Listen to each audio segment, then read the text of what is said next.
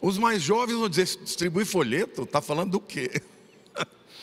Hoje o distribuir folheto, queridos, é o compartilhar. Então, o meu pedido a você é que você se inscreva no canal. Eu vou fazer uma outra pergunta: quantos aqui ainda não se inscreveram no meu canal? Olha, pouquinha gente, parabéns. Quem não se inscreveu, se inscreva. E o meu pedido é que vocês compartilhem 100% das mensagens, porque às vezes a gente compartilha aquela mensagem que falou conosco, né? O meu pedido é compartilhem todas, não só minha, mas também de todos os pastores da igreja, quando forem postadas na, ah, no canal da Igreja Palavra Viva. Amém? Quantos estão aqui com vontade de ouvir a palavra? Estão dizendo assim: Eu quero muito ouvir a palavra de Deus. Amém? O título da mensagem de hoje é O que tens na tua mão? Vamos ler livro de Êxodo, capítulo 4, os primeiros cinco versículos que dizem: Respondeu Moisés: Mas eis que não me crerão, nem acudirão à minha voz, pois dirão: O Senhor não te apareceu. Perguntou-lhe o Senhor: Que é isso que tem nas tuas, na tua mão? Respondeu-lhe: um bordão, um cajado.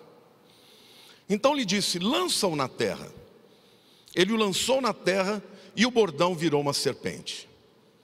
E Moisés fugia dela. Disse o Senhor a Moisés: estende a mão e pega-lhe pela cauda. Estendeu ele a mão, pegou-lhe pela cauda e ela se tornou em bordão. Para que creiam que te apareceu o Senhor Deus de seus pais, o Deus de Abraão, o Deus de Isaac e o Deus de Jacó. Queridos, eu quero começar dizendo que, às vezes, para que Deus opere o propósito que Ele tem na nossa vida, às vezes parece ter demorado muito tempo. Moisés foi criado no, no Egito, foi preparado para uma grande obra foi criado na corte como um príncipe. Mas aos 40 anos ele foge do Egito por conta de ter matado um feitor. E ele fica 40 anos no deserto achando que a vida dele se encerraria naquele lugar ermo, naquele lugar desértico. Então toda empáfia, toda arrogância, toda, todo preparo intelectual, todo refinamento que Moisés teve ao longo dos primeiros 40 anos da sua vida, tudo isso mudou. E agora ele era um pastor de ovelhas, um homem simples que trabalhava para viver, até que ele tem um encontro com Deus, na sarça ardente. Ele fica maravilhado, aquele momento deve ter sido extraordinário. Ele tira as sandálias, ele está absolutamente chocado de que Deus esteja falando com ele. E quando Deus então se apresenta, diz o seu nome e diz a razão por que apareceu a ele, Deus diz: Eu tenho um projeto para você, eu tenho um grande plano para você, porque o meu povo, está escravizado no Egito e eu estou ouvindo o clamor desse povo. Eu quero que você vá lá, diga a Faraó para deixar o meu povo ir, para que me adorem no deserto. E naquele momento, então, Moisés toma um impacto, porque aquilo que lhe sucedera no Egito foi terrível. É, foi expulso, saiu de lá humilhado. Ele não queria voltar para aquilo que lhe causou tanto dano. Certamente Moisés não havia esquecido de tudo quanto viveu lá no Egito. Então ele começa a argumentar com Deus e diz: Mas eles não vão me ouvir, eles vão dizer: Deus não te mandou coisa nenhuma.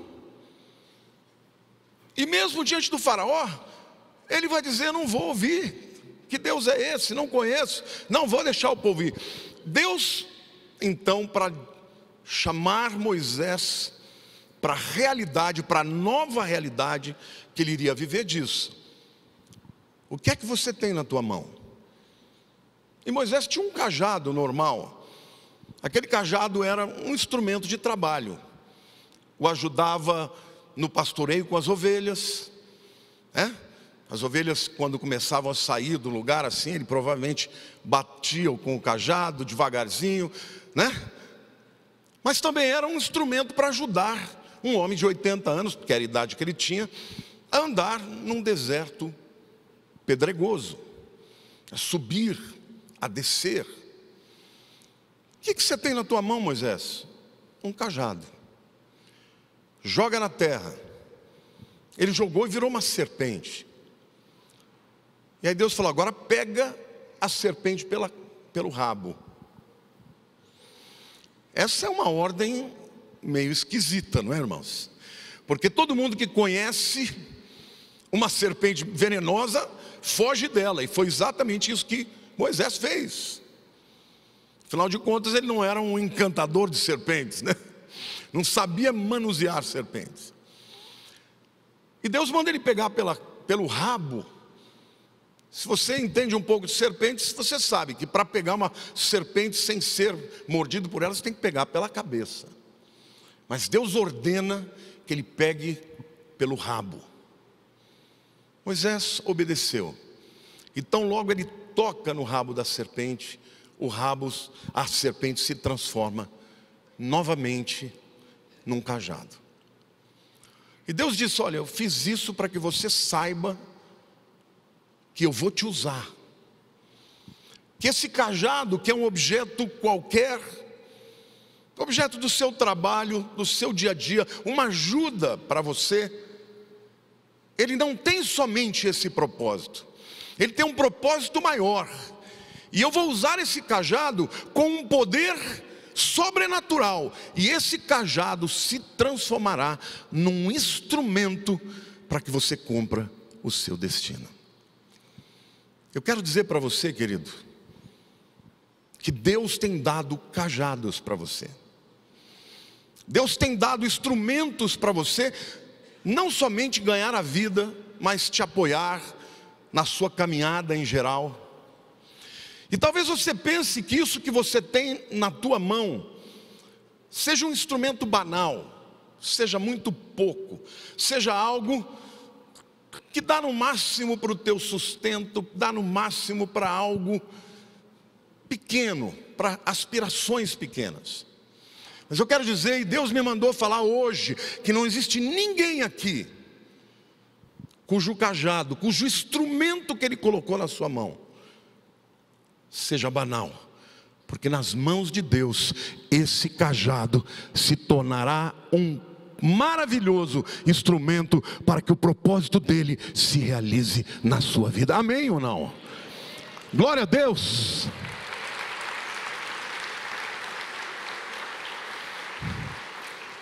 Então, a minha pergunta para você hoje, que é o tema da mensagem, é: o que você tem na sua mão? O que tens na sua mão? E eu quero refletir juntamente com vocês a respeito desta situação, porque quando nós terminarmos a mensagem, eu tenho certeza que você vai sair daqui sabendo que Deus tem algo grandioso para você. E que não importa que aparentemente esse cajado seja algo banal, nas mãos de Deus ele terá poder para a realização de milagres. Amém ou não? Glória a Deus. A primeira pergunta que eu quero fazer com vocês aqui, a primeira reflexão que eu quero fazer com vocês hoje. De onde veio isso que você tem na mão? De onde isso veio? Moisés provavelmente pegou esse cajado de alguns arbustos que havia na região e ele usava aquele cajado como todo pastor da época. E você provavelmente está aí usando da tua profissão, talvez você seja um professor, um advogado, um marceneiro, uma dona de casa, talvez seja um cozinheiro, talvez seja um empresário. E tudo isso que você tem feito, isso que está na tua mão, talvez você pense que veio de você. Ou talvez você acha, ache que veio naturalmente das circunstâncias. Como Moisés teria dito se eu, perguntasse, se eu lhe perguntasse isso, de onde isso veio? Ah, veio daquela árvore de acácia ali. Mas eu quero dizer para você que o apóstolo Paulo disse que isso veio de Deus. Em 1 Coríntios capítulo 4, versículo 7 diz assim: Pois quem é que te faz sobressair? Eu estou te perguntando agora: quem é que te faz sobressair? E que tens tu que não tenhas recebido? Ou seja, o que é que você tem que você não tenha recebido de Deus? E se o recebeste, por que te vanglorias? Como se não o tivesse recebido. Paulo está dizendo o seguinte: olha, o que é que você tem que não foi dado para você? Porque tem gente que adora dizer, não, eu sou um self-man made. Eu sou um homem feito sozinho. Que feito sozinho? Você recebeu a vida, você recebeu dons, recebeu talentos, recebeu oportunidades, tudo que você fez e conquistou, parte disso tem a ver com a sua atitude.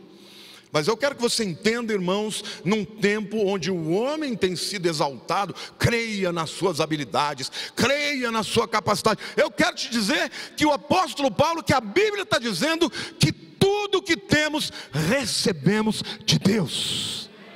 Amém, irmãos? Pode aplaudir.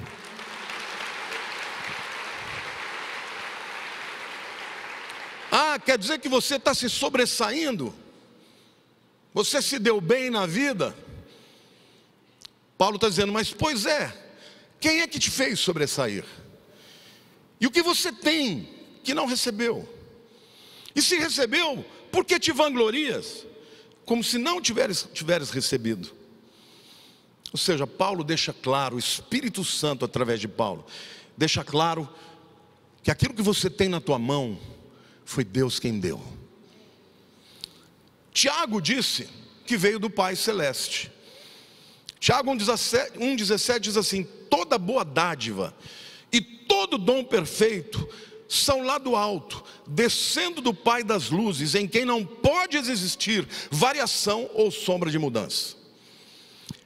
O que, que o apóstolo Tiago está dizendo, irmãos? Está dizendo que quase todas as boas obras, quase todas as dádivas, todas as boas dádivas descem do Pai das luzes. De quem veio, irmão? De quem veio, irmão? De quem veio, irmão? De Deus. Davi disse que foi de Deus. Em 1 Crônicas, capítulo 29, versículo 2, ele diz assim: Riquezas e glória vêm de ti tu dominas sobre tudo, na tua mão a força e poder, contigo está o engrandecer e a tudo dar força. Davi está dizendo: Eu cheguei aqui, eu conquistei, eu venci as batalhas, eu venci os meus inimigos, eu cresci em poder. Eu saí de trás das ovelhas como pastor e me tornei rei de Israel, porque o Senhor quis, porque o enriquecer, o engrandecer está na tua mão. Amém, igreja? O que Deus está dizendo para você é que Ele é aquele quem engrandece, Ele é aquele quem dá, Ele é aquele quem acrescenta para um propósito. Então, nós, como cristãos, em primeiro lugar, não temos que ter uma atitude errada de alguém que não crê, que não acredita, que olha para si e fala: Eu sou incapaz, mas Deus é aquele quem capacita. Amém, igreja? Para o propósito que Deus te chamou, Ele há de te capacitar. Agora, por outro lado, há aqueles que, quando conquistam, começam a se achar. Olha como eu sou capaz, olha como eu sou inteligente, olha como eu sou poderoso, olha como eu faço tudo bem feito.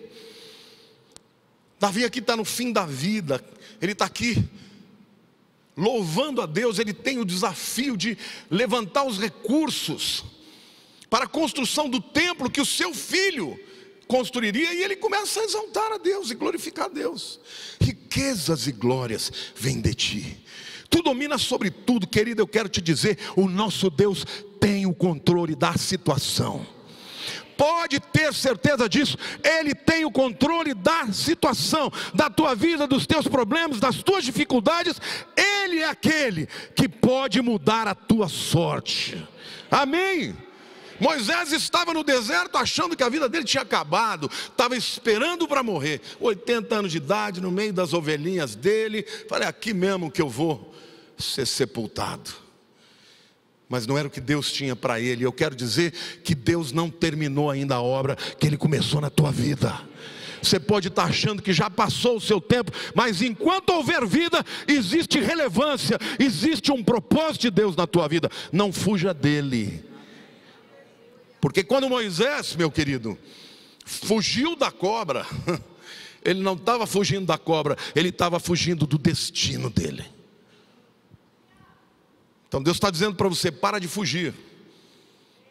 Moisés fugiu do Faraó, fugiu do Egito, agora está fugindo da cobra. Foge, foge, foge, foge. Para de fugir, porque senão você vai fugir da vida, vai fugir dos amigos, vai fugir do amor, vai fugir do propósito de Deus. Amém? Deus tem um grande propósito para o seu povo, e Ele é aquele quem capacita. Glória a Deus. Então, de onde vem? Diga assim: de Deus. Aplauda ao Senhor.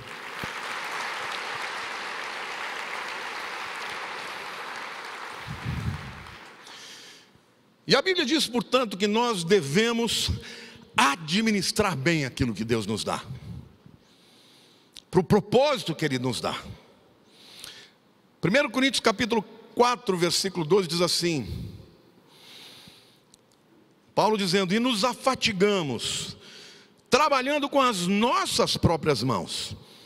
Quando somos injuriados, bendizemos, quando perseguidos, suportamos. Que Paulo está dizendo? Deus me deu um chamado, Deus me deu um cajado, mas vai ter guerra. E não dá para você pensar que simplesmente porque Deus está te dando, não vai ter guerra, porque vai ter guerra. Agora, como é que você administra uma situação dessa? Bom, Deus está comigo, o poder de Deus está comigo, o propósito de Deus é comigo, então eu vou dar o meu melhor. É ele que ele diz e nos afatigamos. Paulo está dizendo: eu dou sangue, eu faço o que eu tenho que fazer, o meu chamado, eu dou sangue, trabalhando com as nossas próprias mãos. Quando somos injuriados, bendizemos. Quando perseguimos, suportamos. Deixa eu dizer uma coisa para você: tem muito cristão dodói Ai, não vou mais à igreja. Pastor pregou uma palavra que eu não gostei. Ah, não vou mais na igreja. Ele passou por mim e nem me olhou. Ah, não vou mais na igreja. Eu estava esperando que Deus dissesse sim, e ele me disse não. Larga de ser fresco. Para com mimimi, porque Deus tem um grande chamado para você. E Deus tem chamado para pessoas corajosas. Amém? Glória a Deus, levanta a tua cabeça, fala: Eu vou cumprir, eu vou me afatigar, eu vou fazer o que tem que fazer.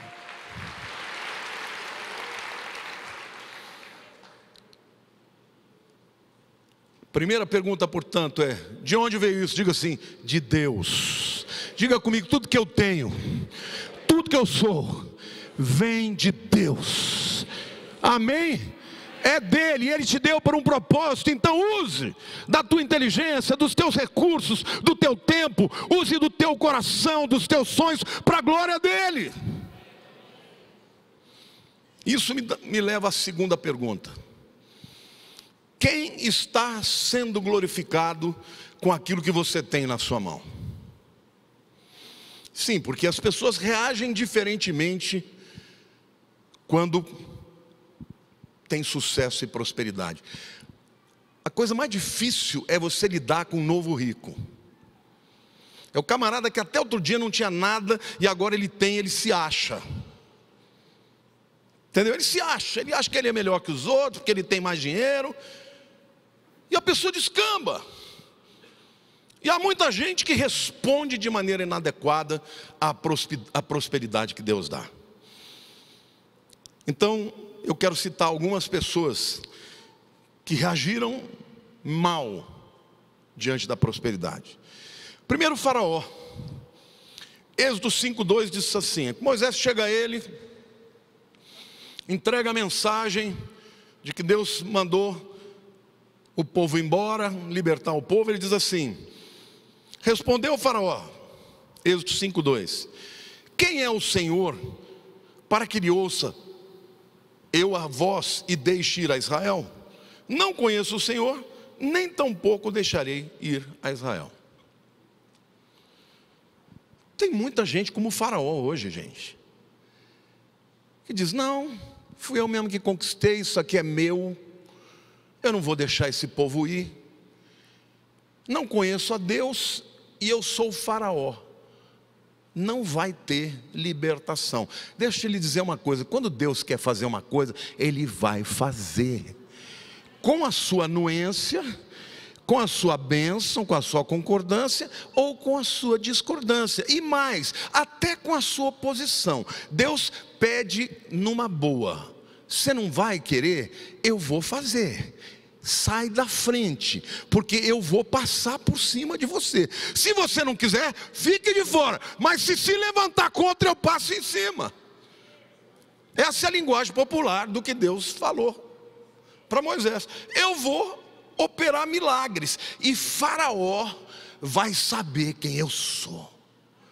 Então deixa eu te dizer uma coisa: não tenha medo do mundo, não tenha medo da vida, não tenha medo dos inimigos, porque se você estiver dentro da vontade de Deus, ninguém te impede. Amém? Deus vai te usar, e Deus vai usar o teu cajado, Deus vai usar aquilo que você tem na mão, e vai acontecer. Quer o diabo queira, quer ele não queira, porque Deus é Deus. Ah, eu não conheço esse Deus, vai conhecer. Moisés não teria sido o grande Moisés se ele tivesse fugido do seu destino. Você já pensou que talvez você também esteja fugindo do seu destino, do seu chamado, e você queira usar o seu cajado só para cuidar das suas coisas pessoais, só para você cuidar do seu rebanho de ovelhas ou para te ajudar a caminhar na vida. Você já imaginou que aquilo que ele pôs na tua mão, se você colocar na mão dele, esse cajado vai fazer milagres? Quantas pessoas não veem os milagres na sua vida porque não entregam as suas vidas completamente para Deus? E aí culpam a Deus como se ele fosse culpado. Não. Se Moisés não dissesse, eu vou pegar essa cobra pelo rabo e eu vou até Faraó. Olha, ele não foi de primeira, não, ele reclamou bastante, argumentou, mas foi.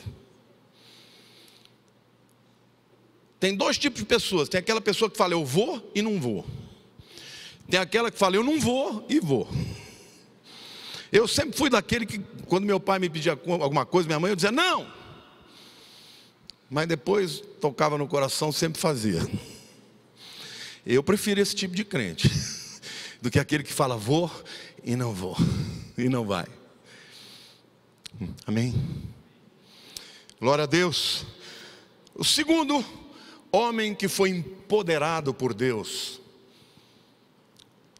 e não reconheceu que tudo vinha de Deus foi Nabucodonosor. Daniel 4,30 nos conta que ele, Nabucodonosor, uma determinada noite, ele levanta no seu palácio e provavelmente vai para o alpendre, para uma sacada, e ele então olha a Babilônia, a cidade da Babilônia. Queridos, a Babilônia foi uma cidade extraordinária. Nenhum outro reino da antiguidade foi como a Babilônia. As muralhas da cidade, irmãos, eram muralhas de mais de 30 metros de altura, de largura de 15 metros. Eles corriam de biga, faziam, isso é a muralha externa, ainda tinha uma interna. Os jardins da Babilônia eram maravilhosos, está classificado como uma das sete maravilhas da antiguidade. Eles faziam corrida de bigas em cima daquela muralha. Então, Nabucodonosor ele sai, provavelmente no alpendre, na sacada, não estava dormindo, olhou para tudo aquilo e olha o que ele falou. Falou o rei e disse: Não é esta a grande Babilônia que eu edifiquei para a casa real? Com meu, com meu grandioso poder e para a glória da minha majestade? Soberbo, camarada, né? Ele podia. Num tempo que ele tinha o que queria, ele conquistava o que conquistava, não tinha lei que estivesse acima dele, e ele falou: Fui eu que fiz isso aqui tudo. No versículo 32, a gente vê que ele se esqueceu que tudo veio de Deus. E Deus fala com ele: serás expulso de entre os homens, e a tua morada será com os animais do campo, e far-te-ão comer ervas como os bois, e passar-se-ão sete tempos, sete anos, por cima de ti, até que aprendas que o Altíssimo tem domínio sobre o reino dos homens e o dá a quem quer. A Bíblia diz que Deus abomina a soberba. A Bíblia diz que Deus resiste ao soberbo, mas dá graça ao humilde. Você quer conseguir graça diante de Deus? Abaixa a cabeça, quebranta o seu coração, porque quem endurece na presença de Deus, ele quebra. Aquele que se quebranta será exaltado. A Bíblia diz: os que se humilham serão exaltados. Nabucodonosor estava tão soberbo que Deus falou com ele, foi a voz de Deus que falou com ele, porque você está soberbo, porque você está dizendo que tudo isso é a tua glória, eu vou tirar você do meio dos homens, você vai ficar louco e vai comer com os bois. E literalmente, irmãos, ele se tornou um bicho. E durante sete anos ele perdeu completamente a sanidade. E ao cumprir o tempo determinado por Deus, ele recobra a sua consciência. E naquele momento, Nabucodonosor se converte, irmãos. Ele reconhece que tudo que ele tinha conquistado havia sido dado por Deus. E ele faz um decreto que a partir daquele momento, só o Deus Altíssimo dos Hebreus seria adorado na Babilônia. Isso deve ter causado um tremendo mal-estar. Mas quando você chegar no céu, você vai encontrar o Nabucodonosor. Glória a Deus. Eu vou dizer parabéns, porque senão você estava lá do outro lado, lá embaixo. Aceitou Jesus a tempo. Não era Jesus naquele tempo. Aceitou a palavra de Deus. Amém, igreja. Agora, gente, vamos contemporizar isso aqui, contemporaneizar, não é contemporizar outra coisa. Vamos tornar esta, esta palavra aplicável para os nossos dias. Quantas pessoas que você conhece, arrogantes, independentes, que zombam de Deus, porque estão por cima? Eles estão loucos, porque eles não têm consciência das coisas mais básicas. Primeiro, que somos pecadores, queridos, somos todos pecadores. Não tem consciência de Deus e que, de que adianta o homem ganhar o mundo inteiro e perder a sua alma. Quanta gente que você conhece que é grande neste mundo e vai acabar indo para o inferno. Então, meu querido, é loucura. São pessoas que, por serem tão arrogantes, Deus permite, permite que sejam alijadas do conhecimento da verdade. A Bíblia diz que o Deus deste século, Satanás, cegou o entendimento dos incrédulos, para que eles não, para que não lhes resplandeça a luz do Evangelho de Cristo, o qual é a glória de Deus. Amém. Uma pessoa arrogante que vive achando que Deus não existe, alguns até zombam, alguns até riem. Isso tem tempo, irmãos, até Deus botar a mão. E se botar na mão, houver arrependimento, melhor que aconteça isso, como aconteceu com Nabucodonosor. Porque alguns, Deus entrega para valer para sempre, e vão descobrir o erro. E a estultícia, quando terminar essa vida, e eternamente estiverem apartados de Deus. Declare assim: tudo vem de Deus. Diga, tudo que eu sou vem de Deus. Tudo que eu tenho vem de Deus. Diga obrigado, Senhor. Eu me humilho na tua presença e reconheço que o Senhor é o Deus Todo-Poderoso e eu sou a sua criatura. Amém. Herodes também não deu glória para Deus. Lá em Atos capítulo 12, versos 21 a 23, a gente lê.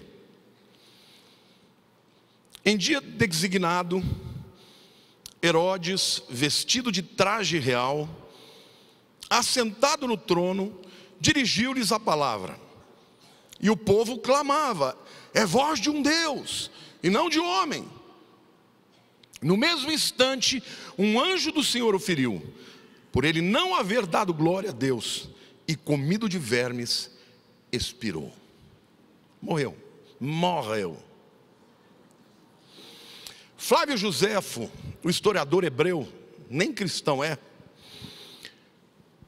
cita este, esta, este episódio, dizendo que Herodes, que morava em Cesareia, marítima, quem já foi comigo para Israel, sabe que Cesareia marítima, marítima tinha um palácio maravilhoso, com uma piscina de borda infinita, e ao lado da casa dele, do palácio dele, havia um anfiteatro. Quantos de vocês foram comigo a Israel estão lembrando do que eu estou falando? Um anfiteatro grande assim. E ele então foi até lá, era, uma, era um dia de festa. Cesareia era uma grande cidade, uma cidade portuária, então vinha gente de todo mundo. E aquele anfiteatro estava cheio, com umas 20 mil pessoas. E o trono dele estava colocado lá. Ele se levanta e começa a falar. E Flávio Joséfo diz que a roupa dele era toda feita com placas de prata. E o sol batia e iluminava. Era como se ele fosse começou a brilhar e as pessoas começaram a olhar e começar enquanto ele falava e provavelmente ele era um homem que tinha uma bela verve, né? Falava bem. O anfiteatro, você fica lá embaixo, você fala, e por conta da acústica, todo mundo ouve, e todo mundo come, começou a gritar: não é homem, é a voz de um Deus, é a voz de um Deus. E ele deixou aquilo. E de repente, um anjo enviado por Deus toca nele e ele morre instantaneamente. E a Bíblia diz que foi comido por vermes. Por quê? porque não deu glória a Deus. Queridos, de onde veio? De Deus. E a minha pergunta para você agora: quem está sendo glorificado com aquilo que Deus colocou na tua mão? É você? Toma cuidado, porque o mesmo Deus que dá, o mesmo Deus tira. E ter uma perda financeira é a melhor coisa que pode acontecer, porque tem coisa pior. Então, nós temos que ter o reconhecimento de que recebemos algo de Deus e este algo é maravilhoso, este algo pode nos dar muitas bênçãos e benefícios, mas ele dá sempre com um propósito, e o propósito é o reino, irmãos. Amém ou não? Você recebeu de Deus ferramentas, cajados, para levar o reino de Deus onde quer que você vá, e Deus quer que este instrumento jamais traga glória para si mesmo, mas traga sempre glória para Deus. Muitas vezes pessoas falam para mim na internet que eu sou um ótimo pregador. Irmãos, a hora que eu ouço aquilo, eu leio aquilo, eu dobro o joelho e falo: Senhor, eu sei quem eu sou de verdade, a glória é tua. Eu sou só um instrumento. A glória é tua. A palavra é poderosa, mas é tua. Se está havendo transformação, é o teu espírito que está fazendo. Amém? Porque eu quero que Deus continue a fazer. Eu quero que Ele continue a me levar aonde quer que Ele me leve. Mas eu sempre me lembro que veio dele e a glória tem que ser dele. Amém, igreja? Deus tem coisas maravilhosas para colocar na tua mão, mas Ele quer que você glorifique o seu nome, que use para o seu reino. Pobre do homem que começa a achar que aquilo que ele é ou aquilo que ele tem é dele ou é por causa dele. Paulo dedicou tudo a Deus. Filipenses 1, 20 e 21 diz assim: segundo a minha ardente expectativa e esperança de que em nada serei envergonhado, antes com toda ousadia, como sempre, também agora será Cristo engrandecido no meu corpo, quer pela vida, quer pela morte. Porquanto para mim o viver é Cristo e o morrer é lucro. Paulo está dizendo, Senhor, eu, eu tenho uma expectativa tão grande, essa é minha ardente expectativa, arde dentro de mim, Senhor. Eu quero ser usado por Ti, eu quero, Senhor, continuar sendo usado pelo Senhor, não importa o custo. Se o custo disso for a morte, então eu estou pronto para morrer. Se o custo disso for ter uma vida difícil, cheia de inimigos, não importa, Senhor, mas a minha expectativa é que através do meu corpo, Cristo seja glorificado, seja engrandecido. Porquanto para mim, o viver é Cristo e o morrer é lucro. Paulo entendeu a relevância da vida dele. E eu quero te dizer hoje, que a tua vida só terá relevância. Se você entender que você não vive para esses parcos anos que passam rapidamente. Eu tenho tido essa consciência. Eu estou com 58 anos, eu sei que eu posso viver muitos anos ainda. E eu tenho pedido a Deus, quero viver muito mais, mas eu tenho dito, Senhor, coloca sempre no meu coração o entendimento de que eu tenho que viver a cada dia Cada coisa que eu vou fazer para o Senhor, que eu faça dando tudo como se fosse a última vez, para a glória do Teu nome, para que o Senhor seja engrandecido na minha vida. Se você fizer isso, irmão, se a igreja de Cristo fizer isso, se a igreja de Cristo parar de falar uma mal da outra porque tem diferenças doutrinárias, sabe que tudo é isso? É vaidade. É vaidade, é o camarada fala mal do outro porque está com inveja do crescimento dele se levanta contra o outro, porque queria ter o que ele tem. Querido, faça a obra que Deus te deu para fazer e glorifique a Ele. Amém, igreja? Porque a Ele toda a glória, toda a honra, o poder, a majestade, a soberania é do Senhor.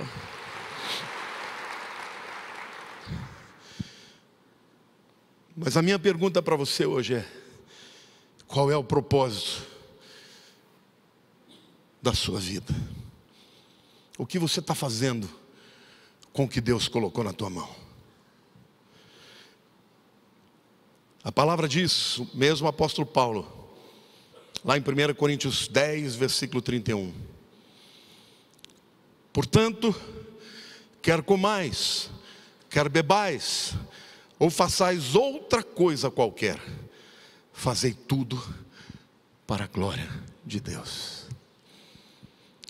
Perante Deus não tem essa coisa de, não, no domingo eu sou crente, na segunda eu sou o cão. É, porque tem crente que na segunda-feira é pior do que os ímpios. E acha que existe essa coisa de compartimentalizar, querido. Ou você é crente na segunda, na terça, na quarta, na quinta, na sexta, no sábado, ou você não é crente. Não pense que você senta aqui na igreja, levanta a mão e dá a sua oferta e você é crente. Não, para você ser crente, você tem que usar a tua vida para glorificar a Deus. Amém.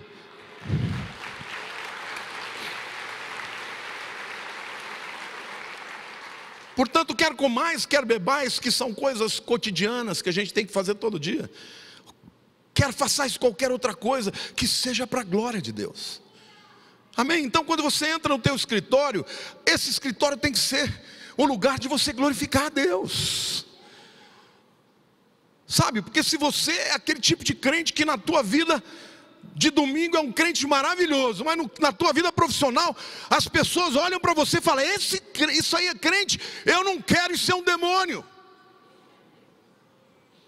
A Bíblia diz que é necessário que haja escândalo, ou seja, haveriam os escândalos. Mas ai daqueles por quem vêm os escândalos. Então vamos viver para a glória de Deus, amém. Glória a Deus. A terceira pergunta que eu te faço hoje: O que Deus colocou em Suas mãos? Em primeiro lugar, a sua vida. Atos 17, 25 diz assim: que Deus nem é servido por mãos humanas, como se de alguma coisa precisasse. Deus não precisa de nós, pois Ele mesmo é quem a todos dá a vida, respiração e tudo mais. A primeira coisa que você recebeu de Deus foi a sua vida. E se Ele te deu, é dele. Ele dá e Ele tira.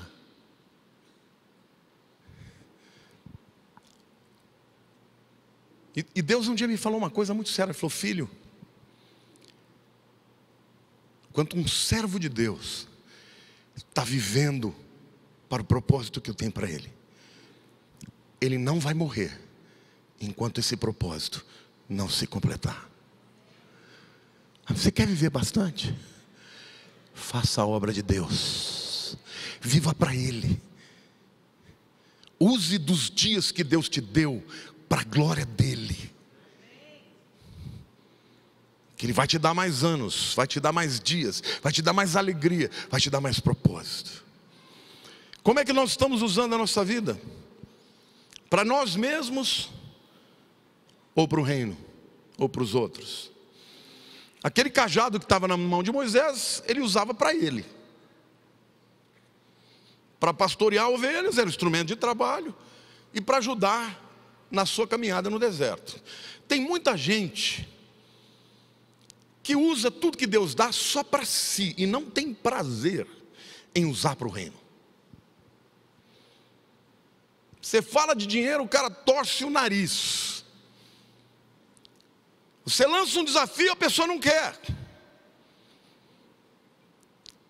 Meu querido, você tem consciência que a tua vida inteira é de Deus e Ele te criou para um propósito, para a glória do Seu nome, amém? Então, viva para Ele, não para si mesmo. Tem gente que começa a prosperar, ao invés de ficar mais crente, se afasta da igreja. Não é isso? O camarada está mal, ele vai, ora, faz jejum, busca Deus, tal. Agora ficou bem de vida, tchau. Infelizmente, eu não diria que é a grande maioria, mas é uma grande parcela dos cristãos. Olha para o teu irmão do lado e diga assim: usa a sua vida para a glória de Deus. Agora fale consigo mesmo, diga assim: Senhor, prospera a minha vida. Diga, prospera muito a minha vida, Senhor porque eu vou usar para a tua glória. Amém? Você crê que Deus pode fazer isso? Ele pode e faz. Quando Deus olha para alguém, encontra um parceiro, alguém apaixonado pelo seu chamado, pela sua obra, Ele fala: Eu vou derramar. Segunda coisa que você tem na mão é um testemunho. Quantos aqui já aceitaram Jesus como Senhor Salvador da sua vida? Quantos aqui já fizeram oração? Jesus é o meu Salvador. Quantos aqui creem nisso? Diga, eu creio. Diga, Jesus é o meu Salvador. Pois bem, você foi salvo para testemunhar isso, para contar aos outros. Paulo diz a Timóteo, no capítulo 1 da primeira carta a Timóteo, versículo 15: Fiel é a palavra e digna de toda aceitação que Jesus Cristo veio ao mundo para salvar os pecadores, das quais eu sou o principal. O que, que ele está fazendo? Dando testemunho. Paulo, quando andava, gente, no começo, ele teve muita resistência. Porque ele era o perseguidor. Tinha gente que não aceitava de jeito nenhum. Mas como? Esse camarada matou gente, agora quer vir aqui dizer pai, pai do Senhor e glória a Deus? Não quero. Mas quando ele começou a sofrer as perseguições, os açoites pelo Evangelho, eles começaram a olhar e falar: Uau, não é que o camarada se converteu mesmo? E ele dizia: Eu sou o principal dos pecadores, aos quais o Senhor salvou. Então, meu querido, eu quero dizer que onde abundou o pecado, superabundou a graça. Não importa o que você tenha sido, importa o que você será. E sabe, se você encontrar algum fariseu que, que pensa que é santo, diga para ele: todo santo tem um passado e todo pecador tem um futuro. Amém, igreja? Você pode glorificar a Deus, dizer eu creio.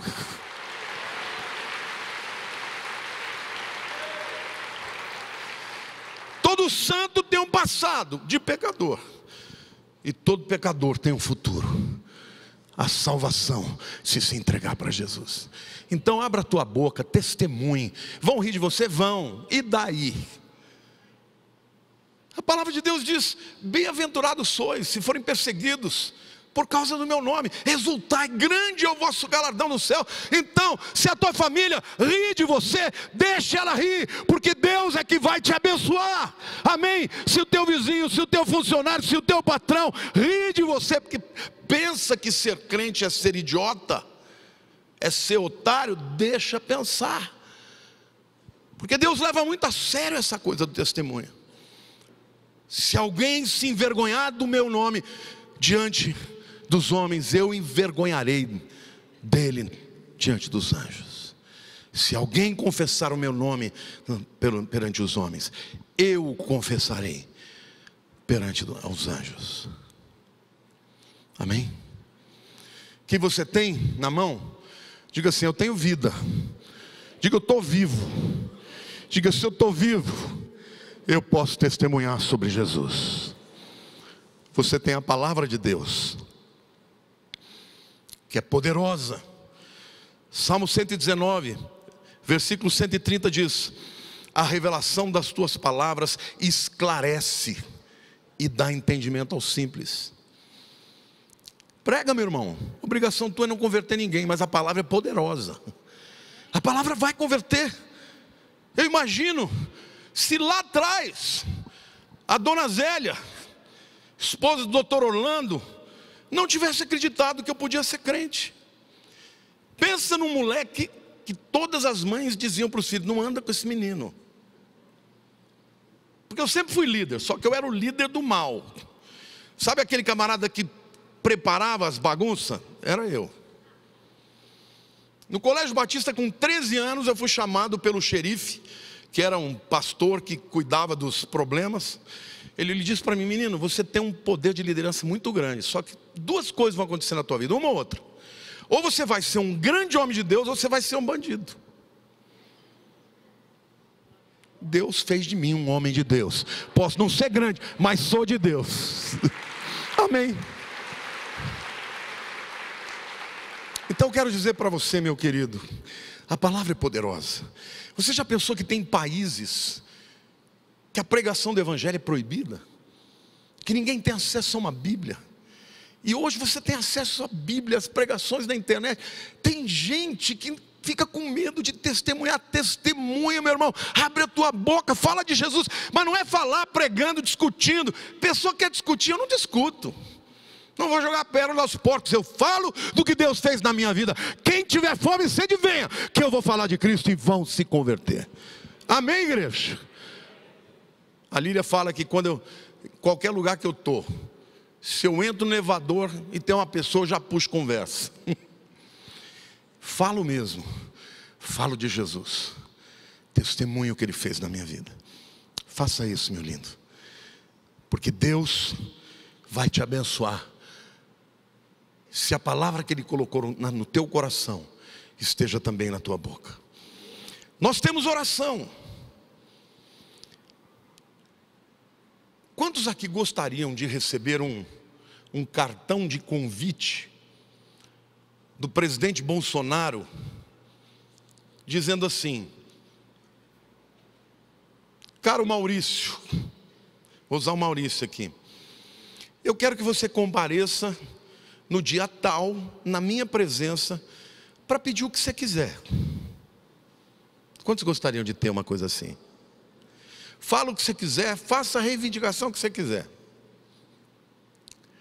Pois bem, eu quero te dizer que você tem esse cartão todos os dias da tua vida. E não é de um presidente eleito, é do presidente do universo de todos os tempos.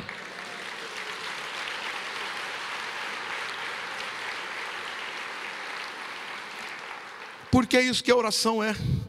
Hebreus 4,16 diz assim: Acheguemo-nos, portanto, confiadamente, junto ao trono de graça, a fim de recebermos misericórdia e acharmos graça para socorro em ocasião oportuna. Misericórdia é o ato de Deus não nos dar o que merecemos, porque somos pecadores, somos maus. E se Deus fosse nos açoitar todas as vezes que erramos, nós estaríamos destruídos. A palavra de Deus diz que as misericórdias do Senhor são a causa de não sermos destruídos, porque as suas misericórdias se renovam a cada manhã. Hoje de manhã, o Senhor olhou, o Senhor olhou para você e disse: Tadinho dele, vou agir com misericórdia. Mas graça é Deus te dar o que você não merece. Você não merecia salvação, Ele te deu. Você não merece as bênçãos que Ele está te dando, e Ele assim mesmo te dá, porque Ele é o Pai das luzes, porque Ele é o nosso Pai eterno, Ele é o Abba Pai, Ele é o Papai. Por isso que Hebreus está dizendo, eu creio que foi Paulo, ele está dizendo, por isso, meu querido, chegue com confiança, confiadamente diante do trono da graça, para receber misericórdia e graça, a fim de recebermos misericórdia e graça para socorro em ocasião oportuna. Ocasião oportuna é aquela hora que você mais necessita. Você está necessitando de uma, de uma graça hoje? Você está precisando de uma resposta de Deus? Ah, pastor, mas está demorando. Mas na hora que você tiver que receber, a hora que for oportuna, vai acontecer porque Ele te ama, porque Ele se importa. Ele até usa desse tempo que Ele não responde, desse tempo em que Ele não põe a mão. Não é que Ele não vai fazer, Ele vai fazer, mas Ele está esperando o momento oportuno. Agora, você que vai dizer para Ele: Deus, eu quero, eu preciso, eu estou necessitado. Fique no pé dEle, até que Ele faça aquilo que Ele prometeu. Cheguemos-nos com confiança. Satanás é aquele que vai dizer: Não, não vai não, porque você não merece. Ei, crentezinho, olha o que você fez lá ontem. Chegue diante dele. Dois homens pecaram feio contra Jesus: Judas e Pedro.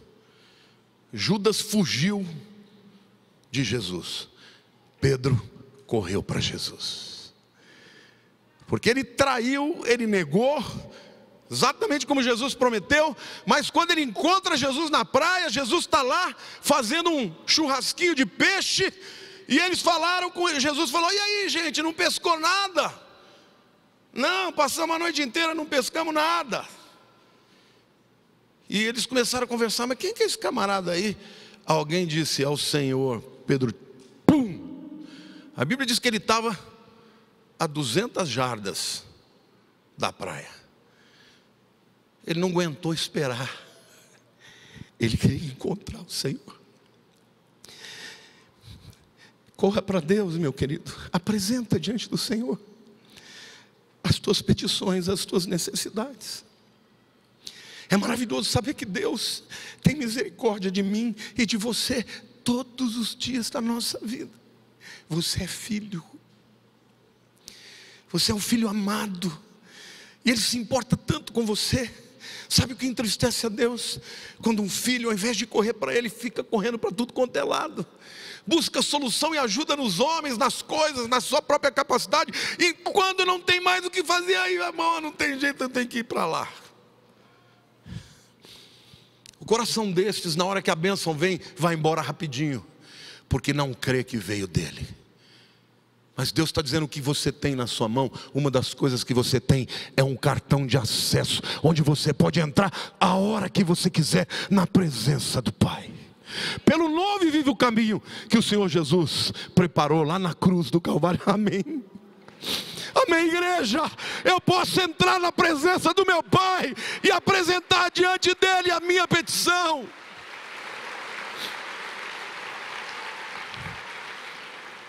Que Ele vai me receber de braços abertos, como o pai do filho pródigo. Vai receber e vai te dar, vai te tratar com misericórdia. Vai lá mandar fazer uma festa pelo filho que voltou. Vai mandar matar o novilho cevado que representa Jesus. E vai restaurar, restituir a posição de filho. Mesmo quando o filho pródigo achava que o máximo que ele conseguia ser era um servo. Nós temos habilidades. Deus colocou na tua mão habilidades. Na mão de Moisés havia um cajado, banal, cotidiano, aparentemente sem muitas qualidades, nem bonito era, nem devia ser reto, devia ser um pau torto. E Deus falou: Moisés, pois eu vou te contar uma coisa, meu filho. Quando você for lá, esse cajado não vai ser um pau torto, não. Esse cajado vai ser o instrumento do teu destino. De eu cumprir o meu propósito através da tua vida. Esse cajado vai ser o instrumento de eu fazer milagres. E queridos, todas as pragas que foram realizadas, Deus usou o cajado na mão de Moisés. Quando o cajado bateu no rio Nilo, ele virou sangue. Quando bateu na terra, saíram os piolhos, todos os milagres. E as pragas Deus usou, Deus usou o cajado. Deus está dizendo para você: você pensa que o que você tem na tua mão é banal? Não é banal, porque na mão de Deus pode ser extraordinário. Quantos aqui creem nisso? Quantos aqui querem dizer para Deus, Senhor, transforma meu cajado, transforma meu cajado. Mas para Deus transformar o teu cajado, meu irmão, você vai ter que jogar ele no chão e vai ter que pegar a cobra pelo rabo. Significa entregar para Deus o teu negócio, o teu trabalho, a tua profissão, os teus sonhos, e dizer: Senhor, vai ser do teu jeito e não do meu jeito, porque o meu jeito diz que cobra não se pega pelo rabo, mas eu quero viver o um milagre, e se me mandar pegar pelo rabo, eu vou pegar pelo rabo. Amém, igreja? Agora, se você quiser,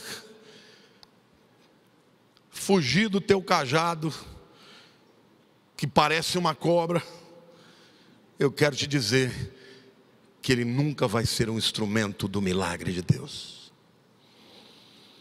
Então, o que você tem na tua mão, você tem habilidade, você tem talentos, você tem recursos, você tem os dons do Espírito Santo, você tem oportunidades, use-as para o propósito de Deus. A quarta pergunta que eu quero fazer: para que Deus colocou em nossas mãos esse cajado? Moisés deveria ser um instrumento de libertação para o povo de Israel. Deus também quer usar o teu negócio, a tua vida, as tuas oportunidades, as pessoas que você conhece. Deus quer te usar para libertá-las também libertá-las do inferno, libertá-las da morte, da condenação eterna. Deus quer usar você para levá-las a se tornarem adoradores. Amém, igreja? Eu fico feliz quando pessoas daqui começam a pregar para os amigos.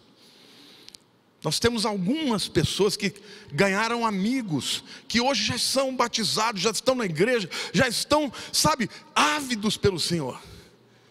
É isso que Deus quer fazer. E quando você entende que tudo que você é, que você tem, o teu negócio é para isso, aí então, o propósito para que Deus te criou e o propósito de ter te dado tantas coisas se cumpre.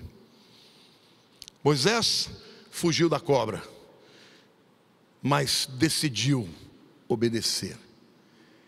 E você está fugindo da cobra? Está fugindo do teu chamado? Está fugindo do teu propósito? Moisés fugiu do Faraó, fugiu do Egito e estava fugindo da cobra. Quando ele decidiu obedecer, ele enfrentou a cobra, enfrentou o Egito e enfrentou o Faraó.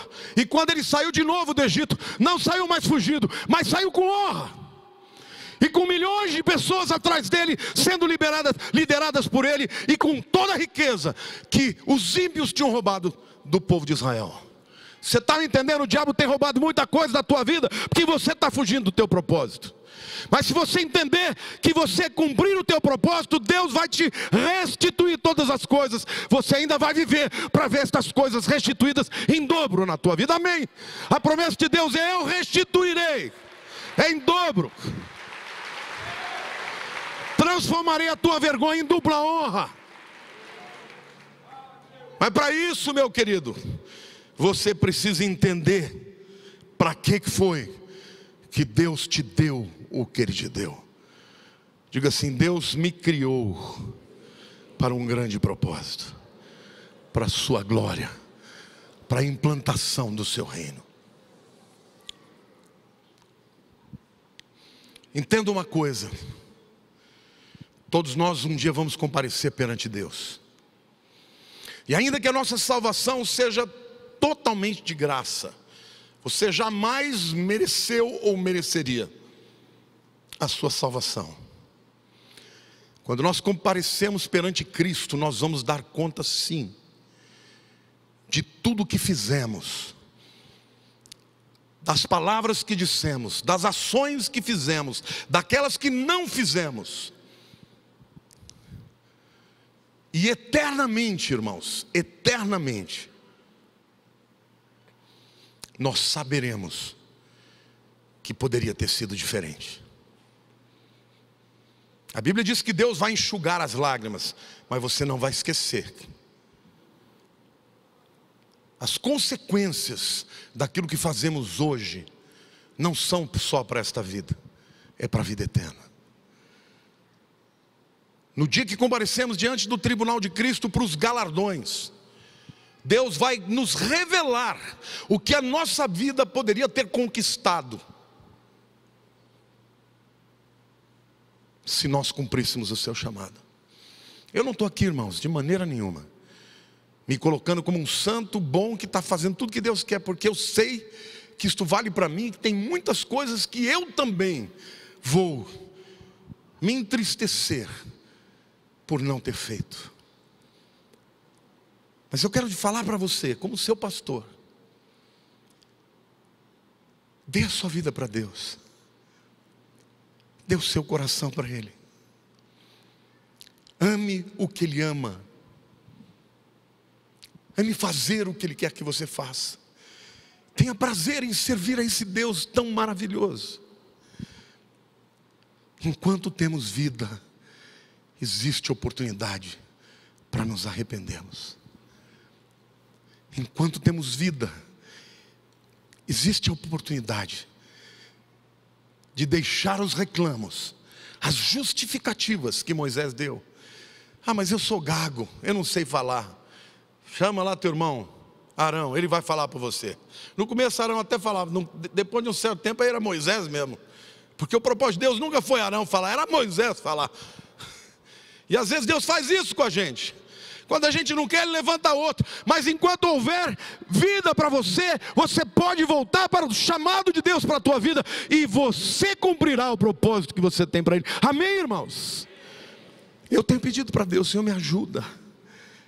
Me ajuda a amar as tuas coisas.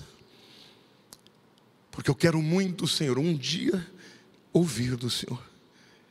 Foste fiel no pouco, sobre muito te colocarei. Talvez, talvez você não saiba que a sua vida é preciosa para Deus. Talvez você não saiba que Deus tem um propósito para ela. Talvez você seja como um daqueles hebreus escravizados no Egito. E Deus levantou um homem, Moisés, para ir libertar aquela nação. E Deus tem levantado homens para apresentar o Deus Todo-Poderoso, libertador, salvador. E humildemente hoje eu me apresento a você, para dizer que o Senhor te ama, e Ele quer te libertar dos seus pecados, das suas angústias, das suas cadeias.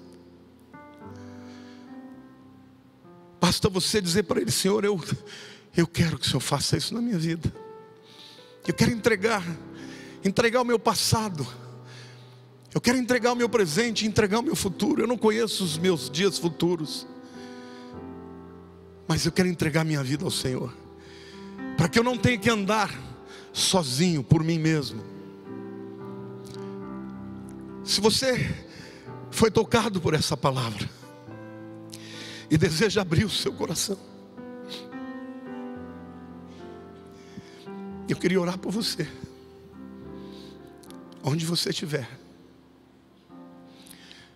Se você quer receber essa oração e receber Jesus como o seu Salvador, eu queria que você levantasse a sua mão onde você estivesse, e eu vou orar por você. Fique com a mão levantada, você lá de trás que levantou a mão. Há mais alguém? Há mais alguém? Graças a Deus aqui, graças a Deus lá. Então eu quero te pedir que você que está hoje, querendo receber essa oração, venha aqui à frente, eu vou orar por você, em nome de Jesus, saia do teu lugar, não se acanhe, pode sair, vem em nome de Jesus. Aleluia, igreja, aplauda o Senhor. Hoje é dia de salvação.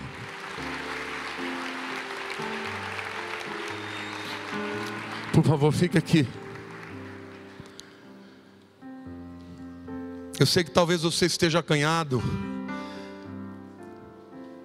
Mas deixa eu dizer uma coisa para você. Esta é uma decisão que você vai fazer perante todos os homens que aqui estão e perante os anjos dos céus.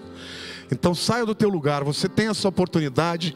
Se Deus falou com você, não perca esta oportunidade, esta benção. Por favor, vem aqui.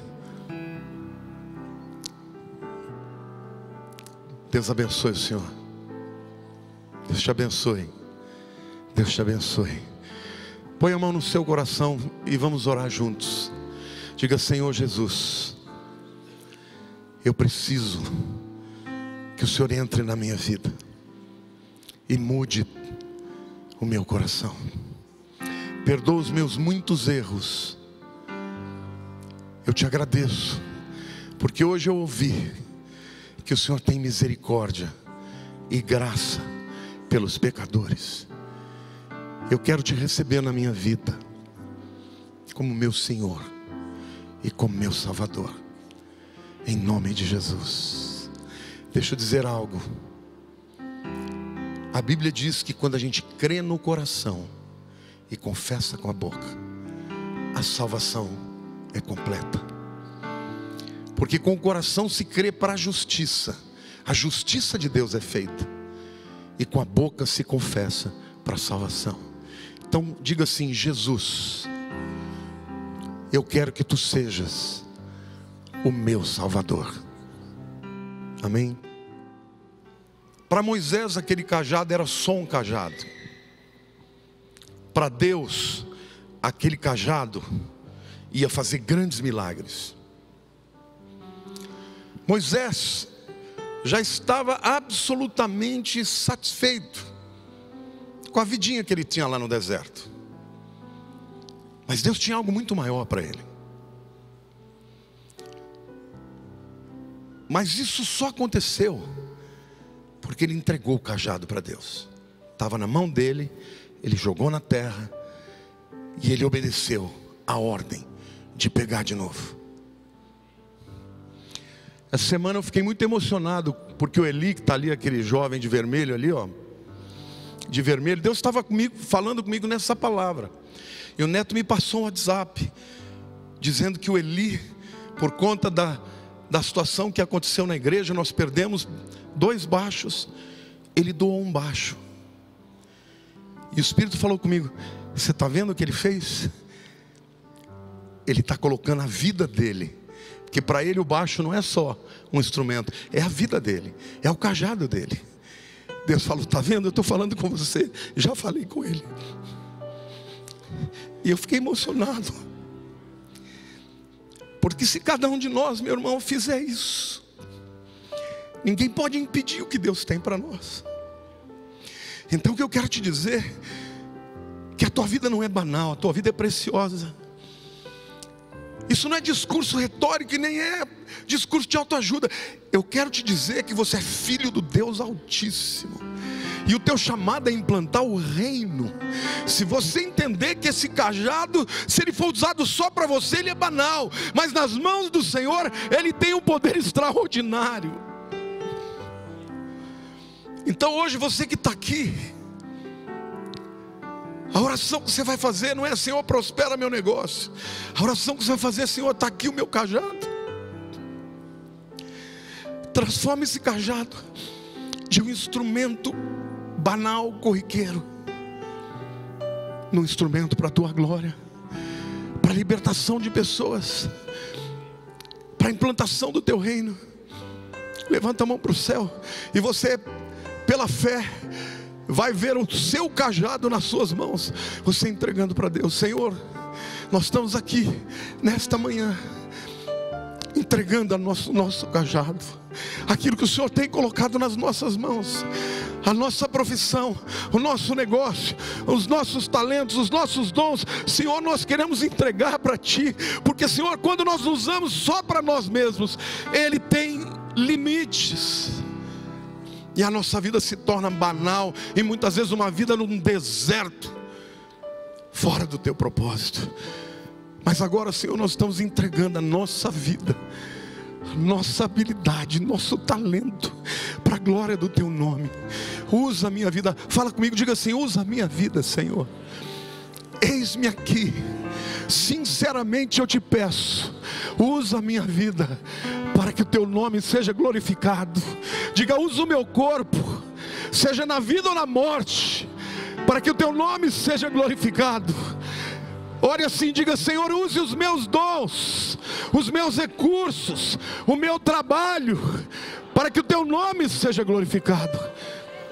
Senhor, muitas vezes eu não sei como. Fale assim, Senhor, eu não sei como, mas o Senhor sabe. Então me revela, coloca pessoas na minha vida para me, para me mostrar o caminho. Porque, Senhor, hoje eu apresento ao Senhor o meu cajado, porque eu não quero, Senhor, que ele seja banal, somente para o meu uso pessoal, que ele seja para a tua glória, durante todos os anos da minha vida, para a glória do teu nome. Aleluia, se aplauda ao Senhor.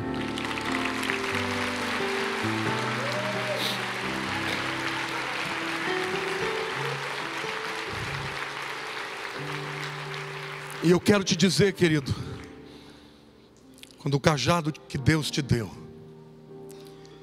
se torna essa arma poderosa contra o reino das trevas e para libertar as pessoas,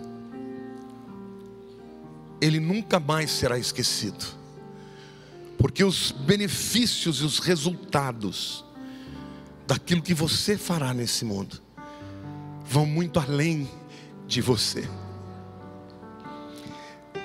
Eles virão para, suas, para sua família, para os seus filhos, para os seus descendentes, para os seus amigos, para o reino de Deus. Amém. Levante a mão para o céu, que eu vou terminar com a benção. Que a graça maravilhosa do Senhor Jesus. E o amor de Deus, o Pai, e as consolações do Espírito Santo. Sejam com todo o teu povo, com estes que hoje entregaram os seus cajados, e com todos os teus filhos ao redor da terra, todos os dias, até o fim. Amém.